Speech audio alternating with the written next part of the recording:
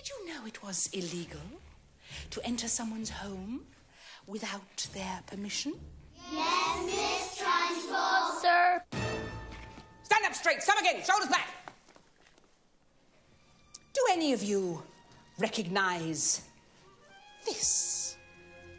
Hmm? Let's play a game, shall we? Who was wearing a pretty red hair ribbon yesterday and isn't wearing one today? Can you answer me that? Who does this disgusting ribbon belong to? I shall personally see to it that the demented, drooling, slime-breathed little Lilliputian who owns this disgusting ribbon will never see the light of day again. You.